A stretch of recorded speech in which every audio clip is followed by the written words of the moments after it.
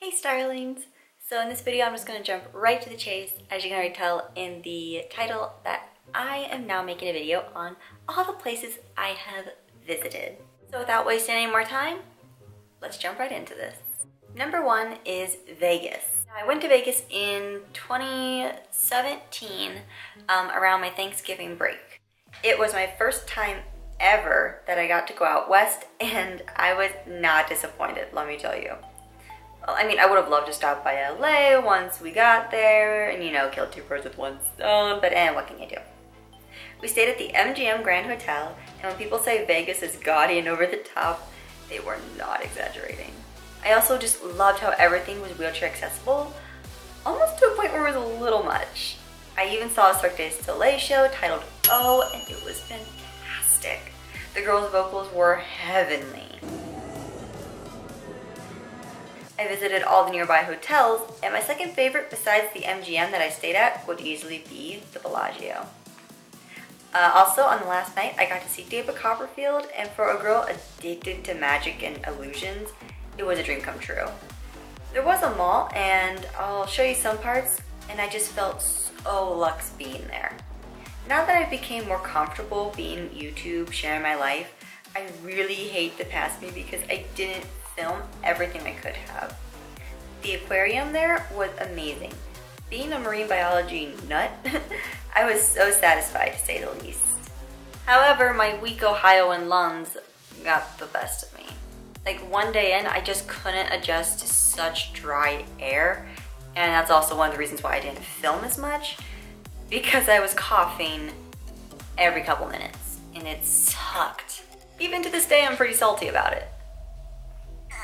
Number two, Arizona. While out west, we didn't just stop in Nevada, we also hit the Grand Canyon. You have no idea how happy this made me because when I was a kid, my dad, Pops, took my older sisters over spring break back when I was really, really little to the Grand Canyon and I didn't get to go and it made me so sad that I didn't get to. So going out there was kind of a dream come true. The helicopter ride was hosted by, I believe the name was Sunset something. Anyway, they were all fantastic there and I couldn't take my wheelchair with me, but they already had a temporary one out there on the plateau for when I arrived. And having dinner on a plateau is something you just kind of have to live through your own eyes. I can't verbally explain just how epic it felt. And out there on the reserve, you can drink champagne at 15, the guide had told me, and I was well over 15, so that was fun. And later that night, I had also found out that my favorite actress, Lana Parrilla, was down in the Canyon Valleys when I was there at the same time, but a couple miles away with her family. So that made my heart happy. Number three, Tennessee. Tennessee, I don't remember as vividly as, say, other places I visited because I went there when I was a really little kid. Pops and his family originated from Tennessee in Rhea County, so that's the reason we went down to visit because we also own a farm down there. But I do remember some fun little moments. family also owns a creek down there where all the locals actually get their water from. And we owned that creek and we would swim in the creek on like some of like the really hot days. And I remember vividly, I was sitting on a big rock right in the middle while my sister and nephews swam towards the uh, calmer ends of the water.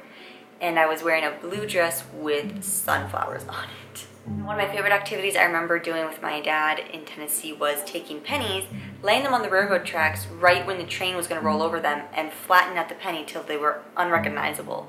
And sometimes if you were lucky, the older the penny, the more colors would pull out from the penny once you flattened and smoothed it out. There was also this really old water tower that survived like, I don't know, like a bajillion different fires and other hazards and whatever. But I didn't get to go up it because you have to walk and it's only stairs. There's no elevator for a half burnt out water tower. So my mom and I would just sit in the Jaguar while the rest of my family went up the water tower. And every step they took, the tower would physically sway back and forth. And my mother and I would just chant that, you're gonna die, you're gonna die. We are such a loving family. Number four, Myrtle Beach. Now I'm not a fan of beaches, only because my wheelchair thinks that all sand is quicksand. So, I mean, I have to be carried and I don't want to be carried when I'm 18 by my family just so I can get to the ocean, even though I love it so much. My grandparents had lived down in like right across the street from Myrtle Beach for years, so I got to go down there when I was about five years old and a couple times before then, but I remember five years old the most. The trip I went on when I was five is the most memorable, despite the time my mother lost her gold ankle bracelet in the lazy river, that my mom is surprised that I even remember, and I'm shocked that I remember it too. It's such an insignificant memory, but I don't know. But I got sick while I was down there. I don't remember what it was. I don't know if it was like a stomach thing. All I remember is my aunt kept giving me like, was it cranberry juice or like a, grape flavored drink to try and calm my stomach, but eventually it just, it just didn't work and they had to admit me to the ER. This was like, coincidentally, like right when like a little tiny tropical storm decided to hit nearby. I don't know if you guys remember it, it's just called Hurricane uh, Katrina. Uh, yeah, they evacuated all of Myrtle Beach except for me. They would not let me leave since I was admitted into the hospital already. This day, I remember sea creatures swimming into my room in like the inch of water on the floor. When they did let me leave, the cute little tourist town had become a ghost town. And the sounds of generators and machines pumping out the water still haunts me to this day, little five-year-old me inside. Whew, that was fun. Top quality trip. 10 out of 10 would do again. Florida. I have been to Florida more times than I can count, let alone remember. Over the years, I've been there for mainly Disney and Universal Studios. And I can easily tell you that Universal Studios is far better than Disney, in my own personal opinion. There's just so much more to do there. And being a film student and a huge film lover slash junkie, I like how Universal Studios submerges you way more into the movies that you love because they're Universal Studios. I mean, duh. And I do hope to visit Universal Studios one more time before I have to officially start adulting. Pennsylvania. So when my mom and Kent kind of like became like a thing, um, I didn't really expect us to travel to where he lived ever. I just kind of expected him to just haul everything and just come to our little town in Ohio and just kind of like totally forget his life in Pennsylvania. That did not happen, let me tell you. I love Philadelphia, the small parts I have been able to see the times I went there. Coming from Ohio where there's like cornfield, cornfield, cornfield, cornfield, town, cornfield, cornfield, cornfield, a city, and then a barn, barn, field, field, field, anything is a step up from there. Where he lived was full of these cool, like historical looking buildings, very unique architectures, a bunch of stores, some stores that I don't have where I live, and the beautiful, second to largest mall in America, the King of Prussia Mall. literally took us six hours to get from the front of that mall to the end of that mall. And that's not even counting the times where we went into stores and actually looked around.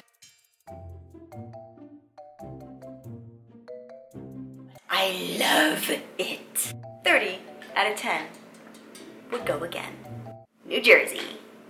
Oh my gosh, the fun didn't stop there. So in 2017, my friend mom, Kent, and I decided to stop at Philadelphia for one night because the next day we were going to New Jersey. This was for a Once Upon a Time convention that they were holding in Whippany, New Jersey, and I was so excited. Low-key, the best vacation I've had in my 18 years of life. Had the silver package and a frantic heart all in one. Got to meet Jennifer Morrison, Colin O'Donoghue, Rebecca Mader, and of course, Lana Maria owns my life, Parrilla. Before I did meet her, I made a bunch of friends with the volunteers who worked there and a bunch of other fans that were there as well. One of the volunteers I got to meet, her name was Annette, and she was such a sweetheart, and I love her corgi Foxy. She even got to let me speak to some of the actors in between panels behind the scenes. Kind weren't really allowed to, but I will forever be grateful for that too. Watching Annette, hi! I love corgis. There was also a Pomeranian there that I named Spoofy. And on the second day, something quite interesting happened. Roll it. So we were sitting here eating our chicken. This is some good ass chicken though, let me tell you. And freaking Colin O'Donoghue walks past, and I noticed, Kelsey didn't notice, until somebody, like a few people down, screams, I love you, Colin! And then she's like, oh shit, that's Colin O'Donoghue. Yeah. yeah, I'm so observant. Want me talk more about the convention, meeting Lana, like how my experience went? Just comment down below just to let me know, and I'll be sure to make a video on that with a bunch of other footage that I took while I was there. But it was the best weekend of my life. Cancun. This one I saved for last because I haven't been there yet. Visiting Cancun in January with Kent, my mom, and Ruth, and I will be vlogging every single day I'm there for the two weeks I am.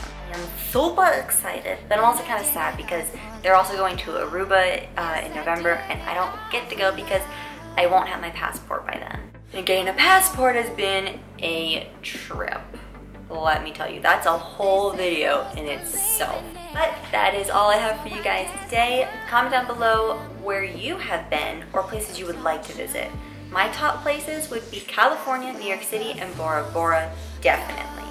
In a specific order, I just love those places. But all of my social media links are down in the description box below. Be sure to check them out and come say hi. I love talking to each and every one of you. Be sure to also comment down below what kind of video you would like to see next. That does help me out a lot, just as much as you guys clicking that like button. Subscribe if you want to see more videos, and that little bell will notify you sometimes every time I upload a video. And with that all being said, my dears, I shall see all you lovely starlings later. Bye-bye.